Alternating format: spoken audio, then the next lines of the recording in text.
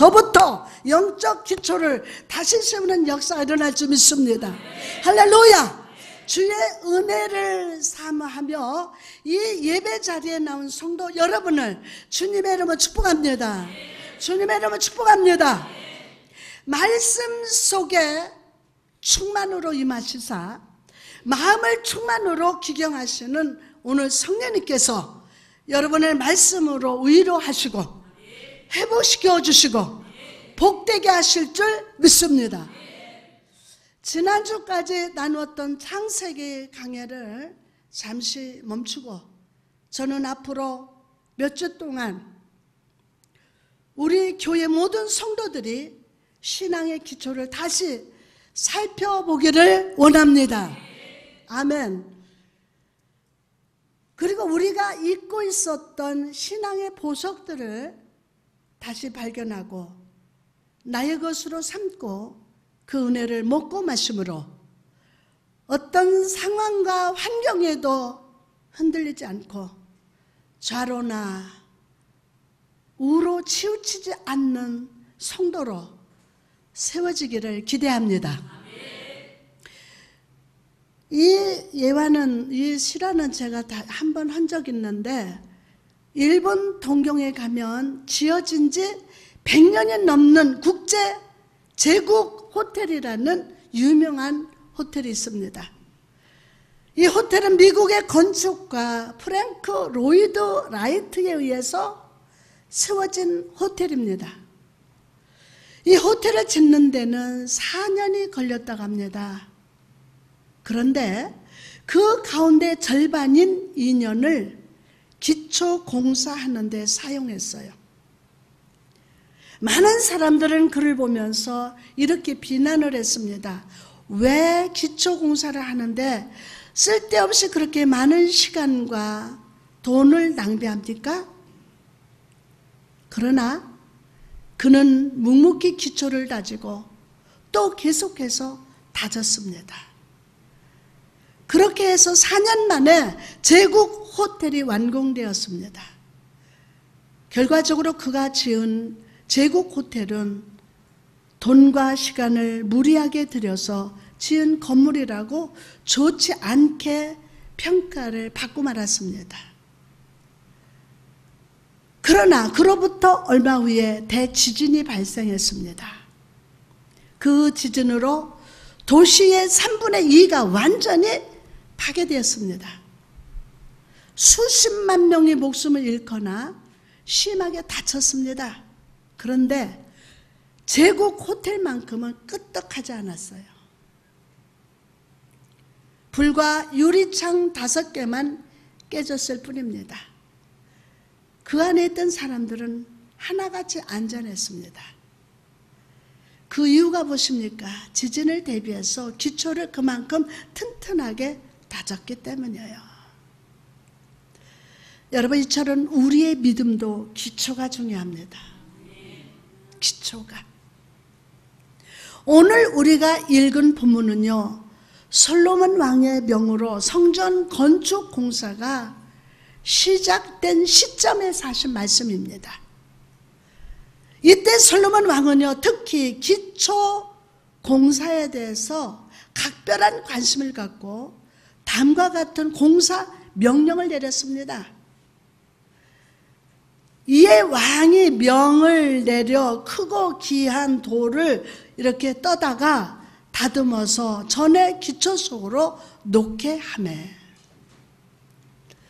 여러분, 사람들의 눈에 보이지 않는 땅 속 기초 공사를 하는데 있어서 작은 부스러기 같은 돌멩이를 사용하지 않고 크고 아주 아주 육중한 바위를 사용하도록 왕이 명령을 했어요.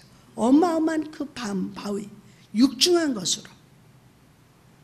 값싼 재료를 사용한 것이 아니라 값비싼 재료를 사용하도록 했습니다.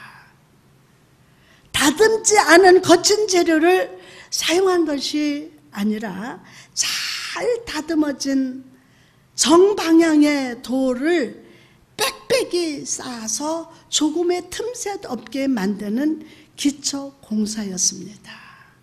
기초 공사.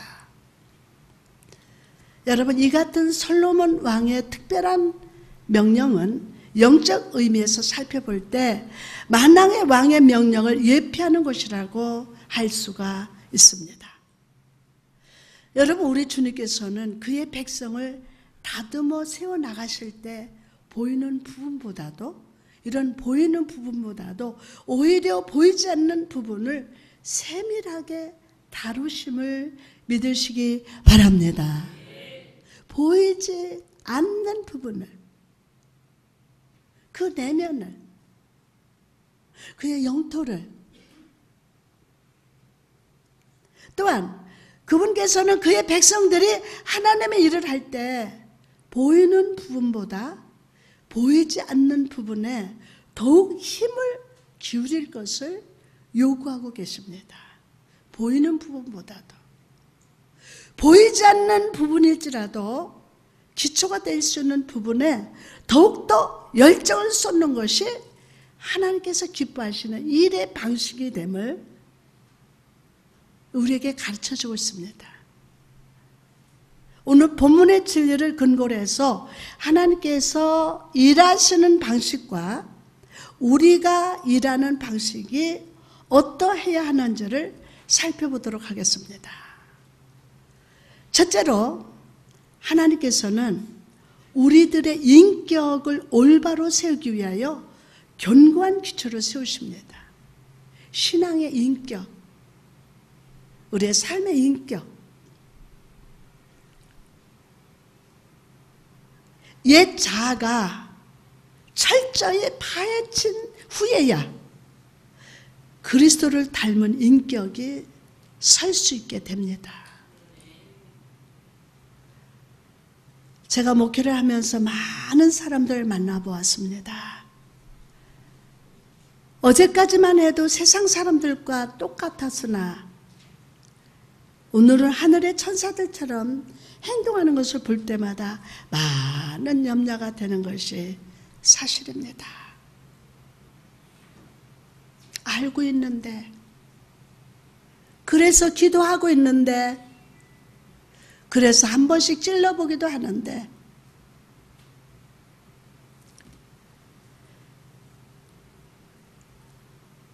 하룻밤 사이에 갑자기 생겨난 방, 박, 박 덩굴 같은 인격은 작은 벌레 한 마리의 공격에 의해서도 시들어버리고 맙니다.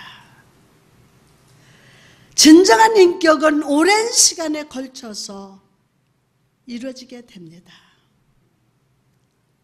여러분 중에는 예수 그도를 영접한 지 오래되었음에도 불구하고 10년, 20년, 12년, 9년, 5년, 8년 그렇게 된데도 불구하고 무엇인가 뚜렷한 그리스도 인격이 나타나지 않음에 대해서 불안한 분도 있으실 겁니다. 왜 내가 이런 오랜 세월 예수 믿고 20년, 30년 그런데도 뭔가 그 인격이 하나님 앞에 바로 세워지질 않는 거예요. 그래서 속으로 불안해 하시는 분도 있을 겁니다. 하지만 이 시간 자신의 내면을 세밀히 살펴보신다면 하나님의 깊은 부르심이 분명히 있을 줄 믿습니다. 분명히 있을 거예요. 과거의 육적인 자랑거리와 장점들이 온데간데 없어지고 휑한 구덩이만 움푹 파인 것을 볼 수 있을 겁니다. 하나님께서는 제일 먼저 내가 사랑하던 세상 지식, 내가 자랑하던 장점들을 모두 파해 주실 것입니다. 그 모든 것은 하나님의 일을 하는 데 있어서 쓸데없는 잡동사니들 뿐이기 때문입니다. 성령께서 인격 형성을 위해서 하는 기초 공사 현장을 살펴보니 밑이 제대로 보이지 않을 정도로 깊이 파인 자국들 뿐입니다.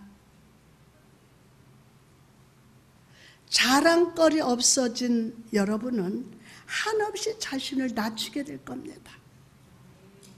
그러나 인격 형성을 위한 기초 공사 현장이 크고 깊을수록 더 높은 견고한 새 사람의 인격으로 세워지게 됨을 믿으시기 바랍니다. 모세를 보십시오. 하나님의 다스림을 받기 전 그의 인격은 하나님의 일을 감당하는 데 있어서 적합한 것이 하나도 없었어요. 자신에게 대든 애굽 사람을 금방 흥분해서 그 사람을 때려 죽이고 말았습니다. 또한 자신의 잘못이 발각될까봐 두려워하여 죽은 사람을 모래 속에 깊이 파무는 아주 바람치한 행동을 했습니다. 그 사람을 죽인 살인자였음에도 양심의 가책을 크게 느끼지 못한 완악한 심령의 사람이 틀림이 없었습니다. 그 후에 그 일이 탄로나게 되었을 때도 그는 자신의 잘못을 뉘우치거나 합당하게 죄의 대가를 받으려 하기보다는 미디안 광야로 도망치는 아주 비겁한 모습을 보이기도 했습니다.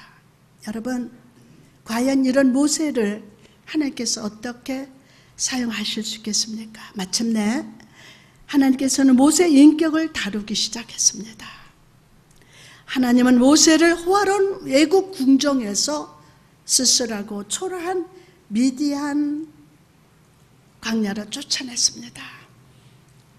하나님은 애굽 왕자의 신분의 모습을 양치는 목자의 천한 신분으로 낮췄습니다. 하나님은 힘있고 패기가 넘치던 모세를 80의 힘없는 노인이 될 때까지 기다리시면서 그의 인격을 다스리셨어요. 이 보이지 않는 40년의 삶은 모세를 영적 지도자로서의 인격을 다지는 기초 공사 기간이 되었습니다. 다혈적이며 양심의 가책을 느끼지 못하는 그 완악하고 강팍한 굳은 마음의 소유자. 그러면서도 책임을 회피하는 비굴한 인격의 소유자. 모세가 어떻게 바뀌었습니까? 민수기 12장 3절 보니까 이 사람 모세는 온유함이 지면에 모든 사람보다 더하더라 라고 했습니다. 여러분 이 온유가 무엇입니까? 온유 온유가 무엇입니까? 온유는 다듬어진 상태를 의미합니다. 아무리 큰 능력, 귀한 은사를 가지고 있을지라도 반드시 다듬어져야 제대로 사용할 수 있습니다. 모세의 인격은 실로 반석처럼 크고 넓고 견고하게 되었습니다. 이런 반석과 같은 인격 위에 200만의 이스라엘 전체를 올려놓은들 무슨 어려움이 있겠습니까? 성도 여러분, 이처럼 인격의 기초가 튼튼할수록 더 높은 성전 건물이 세워질 수 있음을 믿으시기 바랍니다. 여러분의 가정이 금이 간 그대로, 깨진 그대로 그 가정을 세워가면 안 돼요. 저는 요즘 행복해요. 여러분의 가정들이 하나 되고 있어요. 하나 되고 있어요. 기초가 튼튼할수록 높은 성전 건물이 세워질 수 있어요. 혹시 이 자리에 하나님께서 여러분을 분토보다 못하게 벌레보다 못하게 밑바닥까지 내려오는 곳을 느끼는 분이 있습니까? 하나님께서 여러분이 항상 사랑하고 의지하던 육신의 자랑거리들을 모두 파헤쳐 놓았습니까? 하나님께서 여러분을 사람들의 멸시와 조수의 대상이 되게 하셨습니까? 오히려 오늘 기뻐하고 감사하시기를 바랍니다. 하나님께서 여러분을 깊이 다루시는 기간은 우리들의 삐뚤어진 옛 자아를 없애고 하나님의 기뻐하시는 새 인격을 세워주기 위한 재건축의 기간이 됨을 믿으시기 바랍니다. 힘냅시다.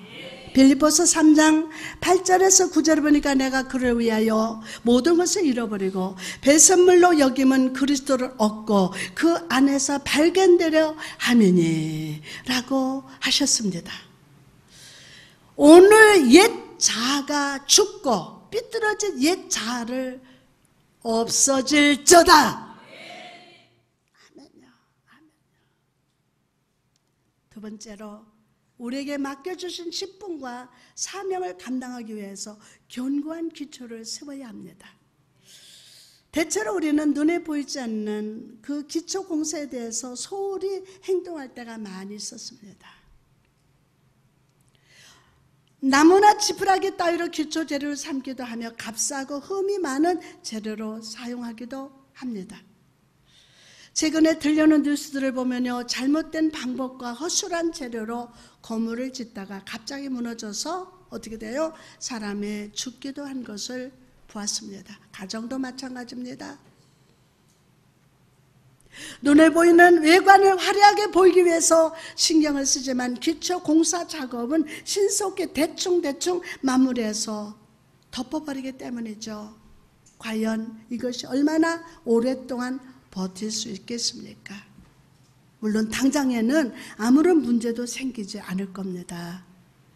갑작스런 지진이 일어나는 것도 아니며 강한 태풍이 부는 것도 아닙니다. 그러나 날씨는 동일함에도 불구하고 이 같은 부서짐과 깨어짐이 일어나게 되는 것은 기초가 연약하기 때문이에요.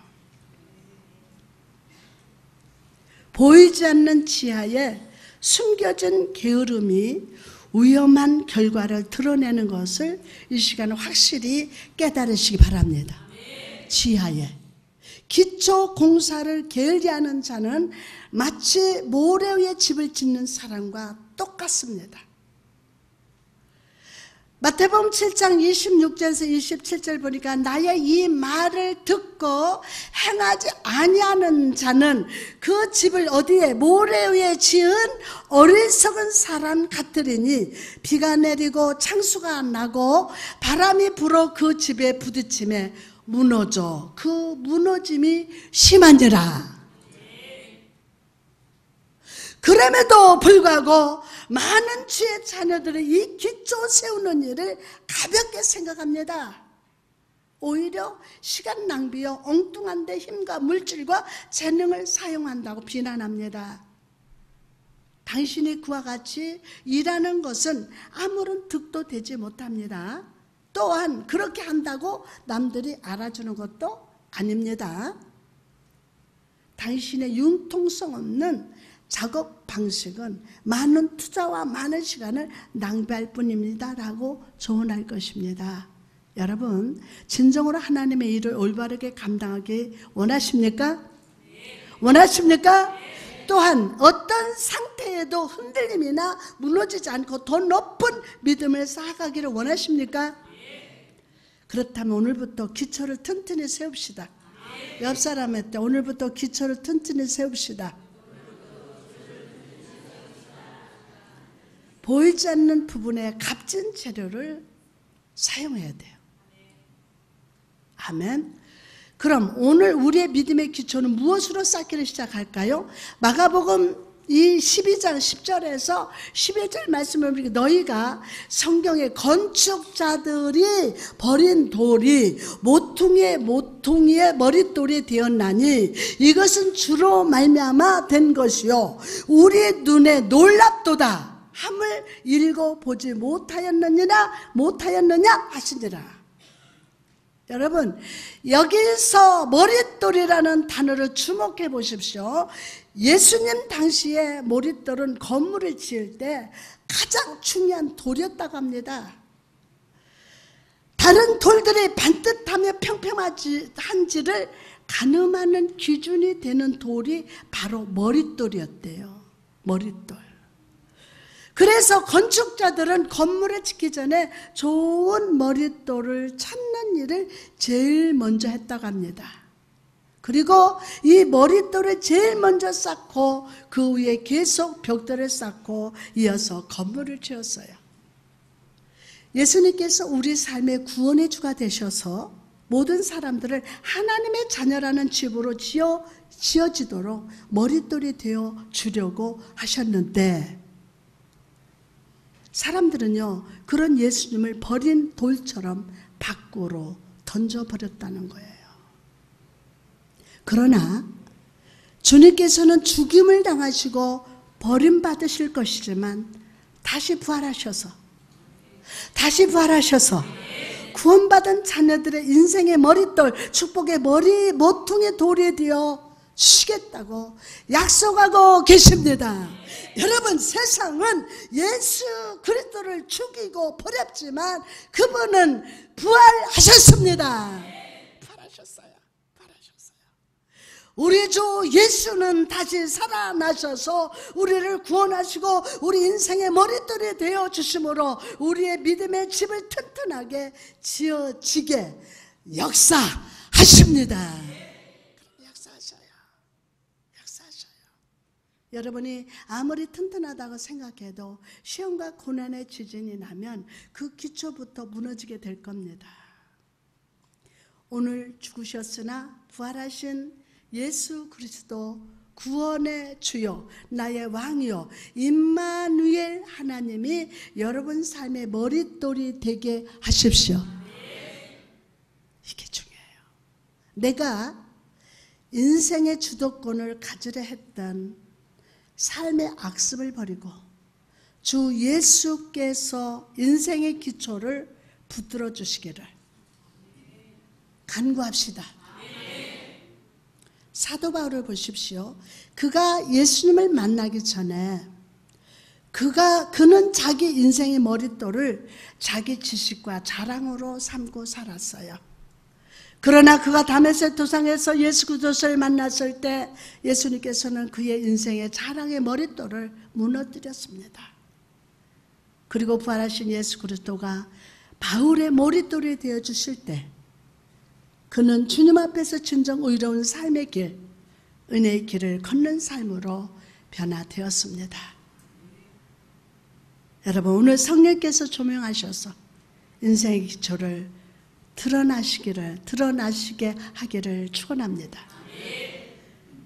그래서 자랑과 물질과 교만 세상의 머릿돌을 무너뜨려 주시고 예수 그도로 머릿돌을 세워 주실 줄 믿습니다. 그럴 때 여러분 삶 속에 어떤 시험과 고난이 와도 흔들리지 않을 겁니다. 능히 승리할 줄 믿습니다. 주 예수께서 여러분의 삶을 축복으로 이어지게 하실 줄 믿습니다. 그래서 축복의 열매, 은혜 열매, 감세 열매를 내 잔이 넘치도록 거두게 하실 걸 믿습니다. 이제 결론을 맺겠습니다. 여러분, 우리 모두가 만왕의 왕 대신 주님의 명령에 순종하기를 원한다면 기초를 튼튼히 세우십시오. 제가 창세기 강해를 멈추고 이 기초를 세우는 설교를 하게 하신 것도 다 하나님의 섭리요 뜻인 줄 믿습니다. 앞으로 몇 주 동안 우리가 오랜 시간 신앙생활을 하면서 잊고 있던 기본 이것들을 다시 말씀으로 나누면서 여러분의 인격이 세워지고 하나님의 일을 감당할 만한 사람으로 세워지기를 바랍니다. 집을 지을 때에 기초 공사 없이 꼭대기부터 짓는 일들을 버려야 합니다. 공중의 집을 매달릴 수 있을 것이라는 그 욕심을 버려야 합니다. 사람들의 눈에는 드러나지 않을지라도 오직 하나님 눈에만 보여지고 검증된 영적 기초 공사를 견고하게 세우시기를 예수님의 이름으로 축복합니다. 이렇듯 영적 지도자로서의 합당한 인격 형성을 위한 은밀한 시간이 있어야만이 하나님의 일이 능력 있게 흥황하게 번성하게 될 것이며 하나님의 성전이 하늘 높이 세워질 수 있기를 그리고 하나님께 영광이 나타날 줄 믿습니다. 성령님 오늘 그렇게 기름으시고 축복하여 주옵소서. 아멘.